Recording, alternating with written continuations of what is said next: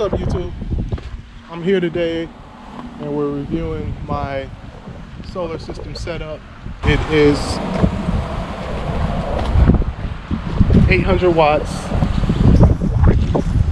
uh, 24 volt system, and it pretty much powers my backup battery bank. So I'll show you guys how it works and everything.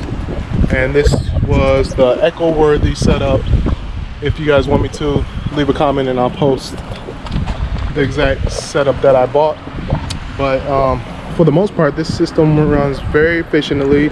I've been able to run a refrigerator and a washer and a cold water um, tank off of it with no problem um, with full sun throughout the day. So let's go ahead and head inside and check out the setup. So this is my setup right here. Like I said, it's the Eco-Worthy setup. This is my little pup Oreo. She's just hanging out. Say hi, Oreo. It is the Eco-Worthy 3000 watt solar hybrid inverter. I bought this off of eBay and the setup pretty much ran about close to $1,500. Pretty decent setup. Um, it came with uh, four LiFePO4 batteries. I you can see that. But these are LiFePO4. And I do have them running in parallel. And I do have them running in series to create a 24 volt system before also bumping up the amperage of the system. So that's how I went ahead and ran it. So far I've been able to run my washer, I'm running the light, and I'm also running a refrigerator, as you can see.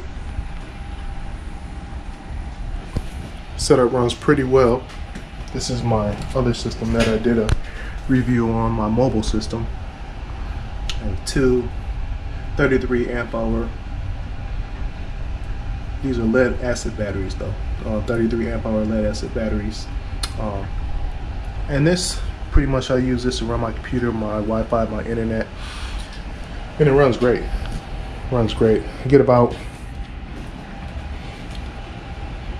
about five, six hours uh, running continuously with this setup. Um, battery back to run. So I'll do another video, show you what this little 1000 watt uh, Jupiter modified sine wave inverter is capable of running and we'll just give it a shot and see what we can run on it. Uh, this setup right here though, I've been able to run anything I throw at air conditioner, window air conditioner, refrigerator, and a washer. It will drain the battery pretty fast, but it's been able to run it though, so it is more than capable. And then if we have good sun outside, I'm usually getting about 15 amps coming in, which is really nice. And these batteries, I must say these LiFePO4 uh, Eco-Worthy batteries have been doing the job. I cannot complain.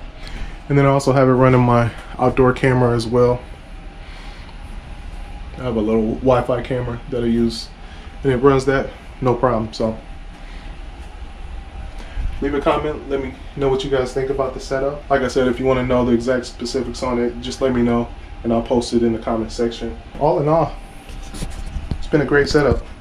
I really had a lot of fun understanding and learning about solar with this system and I just really wanted a backup just in case you never know if you lose power or not and this has been more than sufficient for my needs.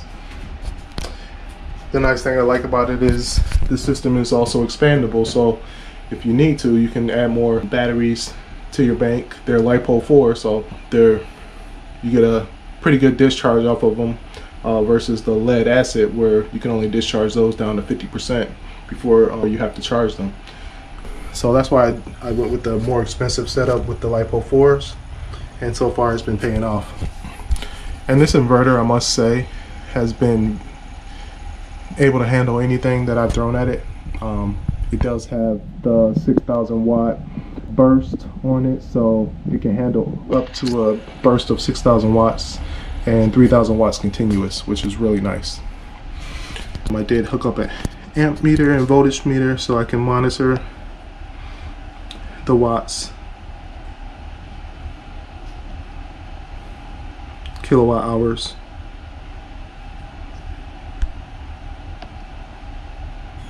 And the voltage it's just been really nice to be able to monitor that uh, everything I have plugged in.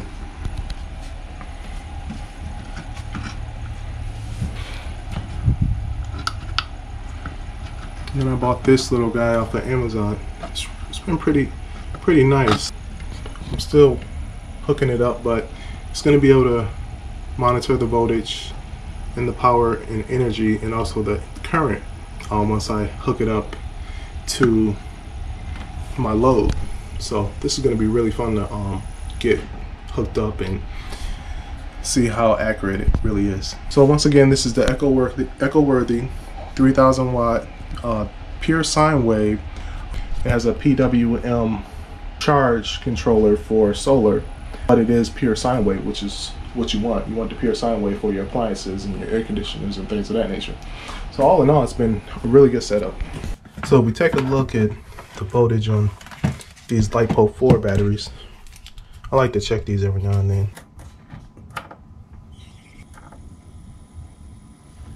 So per cell, we're at 35.2. Wow. Hope you enjoyed this video. Until next time, we'll have some more exciting things to review, exploring the world of solar power. Hit that like and subscribe is